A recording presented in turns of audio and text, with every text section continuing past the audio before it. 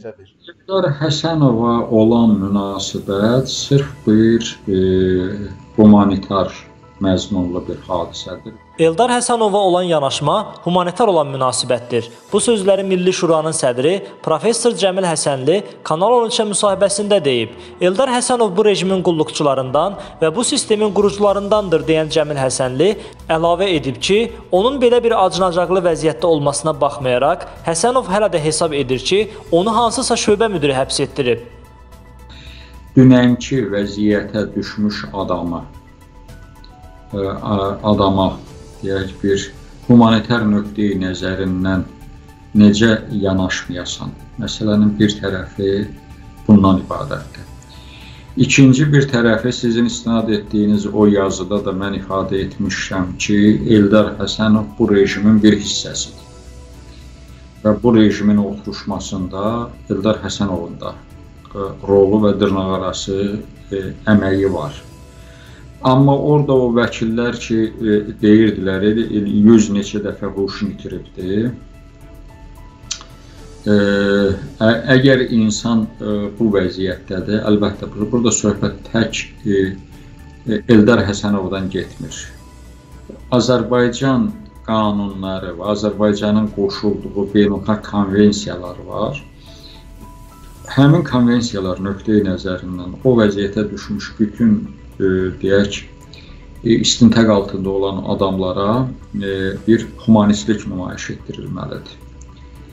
Qaldı Eldar Həsənova hansısa şöbə müdirinin xəbər göndərməsi və Eldar Həsənovun bunu şöbə müdirinin xəbəri kimi açıqlaması bir qədər belə bilirsən real vəziyyətin ifadəsi deyil. Eldar Həsənovu tutduran şöbə müdiri deyil. Eldar Həsənovu tutduran İlham Əliyevdir.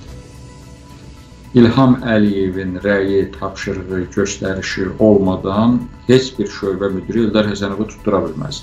Bu formada e, deyək, bu bu o, acınacaqlı mənzərənin e, gündəliyə gəlməsi də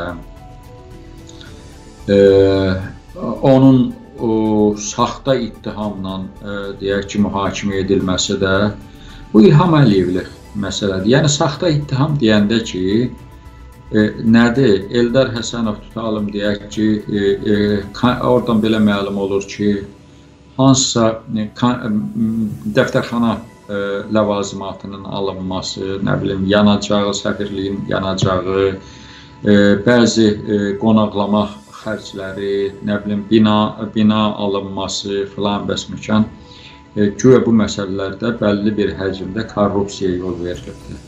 Əvvəl Azərbaycan səfirlikləri eyni e, təlimatla işləyirlər. Və səfirliklərdə elə də artıq pul yoxdur. Orada nədir? E, e, diplomatik korpusun əmək haqqıdır, texniki heyətin əmək haqqıdır e, bəlli bir o qədər də böyük olmayan dəftərxana xərcidir, nə bilim qonaqlama xərcləridir və mahiyyət etibarilə bu bunun həcmi o qədər kiçikdir ki, burada bir kriminal axtarmaq biraz belə Azərbaycandakı milyardlıq korrupsiyalar fonunda gülməli e, gülməli görsənir. Şübhəsiz ki, Eldar Həsənovu tutmağın ayrı bir səbəbləri var. O səbəblərin də nədən ibarət olmağını İlham Əliyev bilir onu tutanlar bilir. O ona e, deməli e, ona həbs olunma e, göstərişin göstərişin verənlər bilir. Ortada olan fakt ondan ibarətdir ki, Eldar Həsənov hal-hazırda mühakimə olunduğu maddələrlə həbs edilməyibdir.